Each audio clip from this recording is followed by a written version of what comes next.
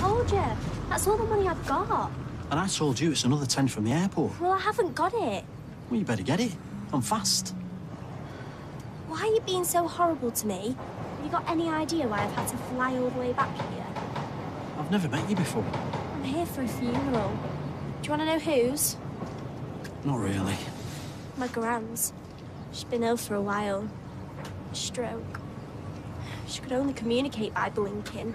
Once for yes, twice for no, which made it really difficult trying to talk to her over the phone.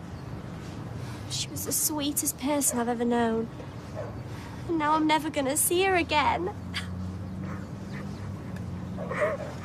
You know what?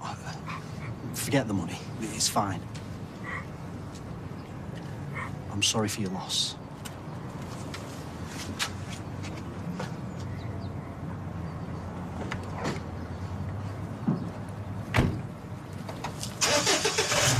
Excuse me, you, um...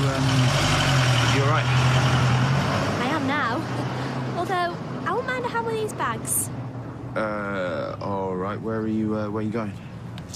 Don't know about you, but I could do with a drink. Do you know what? That's not such a bad idea.